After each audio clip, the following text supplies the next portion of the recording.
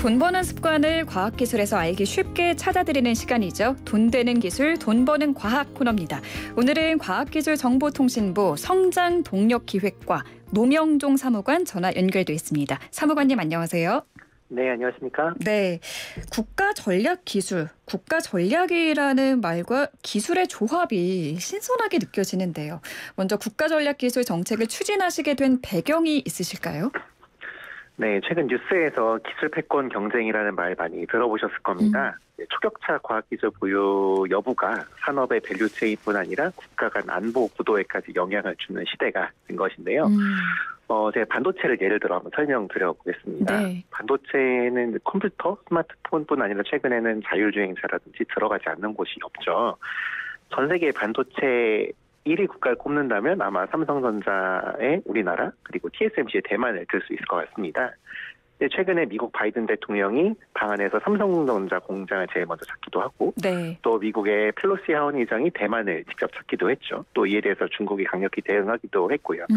결국에 이제 반도체 기술 패권이 국가 핵심이 이게 직결된다고 판단해서일 것입니다. 음. 우리나라야말로 지금까지 기술 개발을 통해 경제가 성장해왔다 해도 과언이 아닐 텐데요. 네. 이제는 더 중요한 국가 생존, 안보 관점에서 기술을 바라보고 또 집중적으로 육성하자는 취지에서 국가 전략 기술이라는 표현을 사용하게 되었습니다. 음. 이러한 이제 전략 기술 선정과 육성 정책이 글로벌 트렌드이기도 합니다.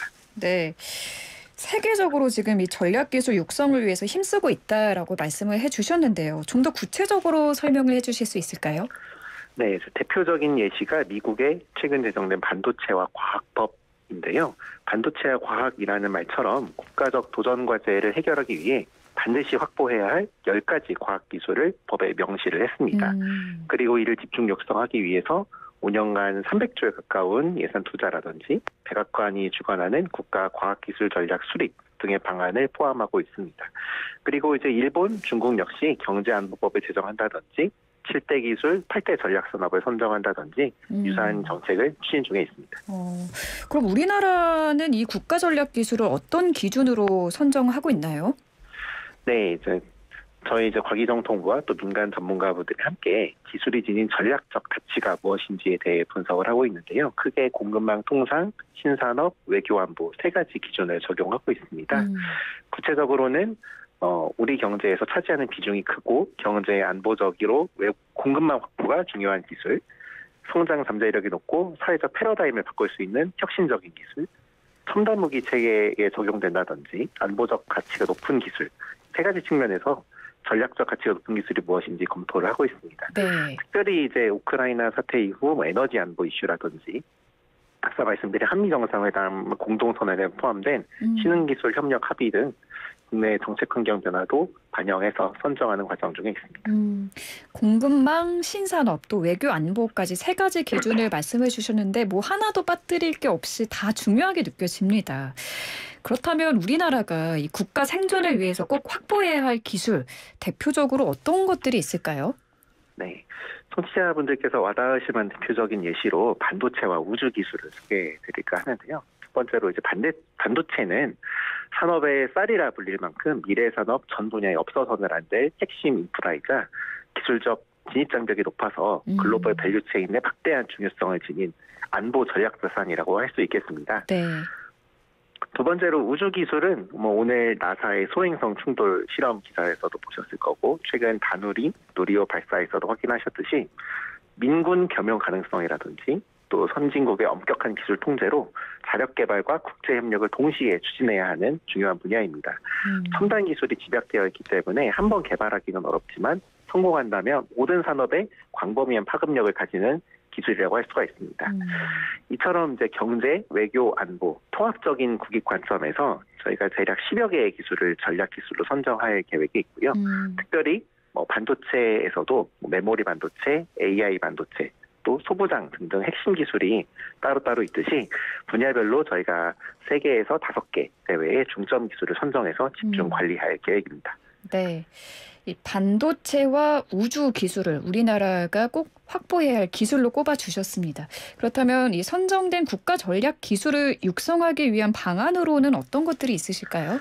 네, 저희가 이제 많은 지원 방안을 준비하고 있는데 역시 대표적으로 두 가지만 소개를 드릴게요. 네.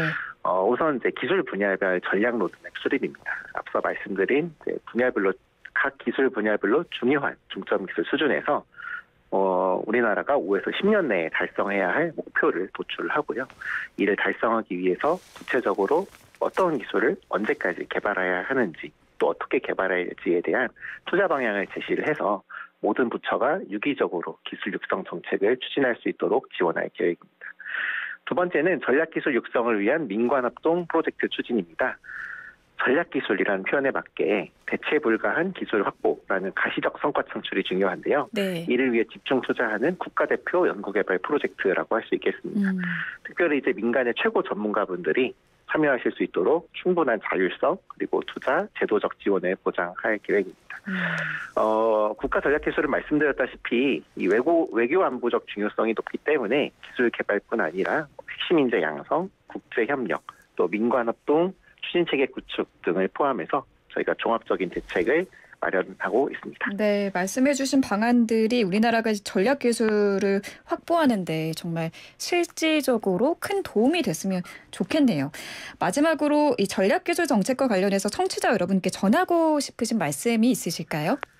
네, 흔히 과학 기술이라고 하면 이렇게 연구실에서 연구자분들이 흰 가운 입고 연구하는 모습만 상상하기 쉬우실 것 같은데요. 네. 저희가 이제 전략 기술 정책을 추진하면서 느끼는 것은 이미 선진국들에서는 어, 초격차 기술을 가장 중요한 전략 자산으로 여기고 국가적인 음. 역량을 집중하고 있다는 점입니다. 국가 간 동맹, 협력, 또 경쟁 여부를 결정하는 열쇠가 되고 있는 것입니다. 생각해 보면 어, 우리나라의 경제 성장이 기술 성장의 역사였다고 할 수 있을 텐데요. 음. 이제는 국가 전략 기술 확보가 국가 생존을 좌우하는 시대인 만큼 그 중요성이 더욱 커졌다고 생각이 듭니다. 청취자 여러분들께서도 우리나라의 뭐 미래뿐 아니라 현재 생존이 걸려 있는 이 국가 전략기술 육성 정책에 많은 관심 가져주시면 감사하겠습니다. 네, 알겠습니다. 오늘 말씀 감사합니다. 감사합니다. 네, 지금까지 과학기술정보통신부 성장동력기획과 노명종 사무관과 함께했습니다.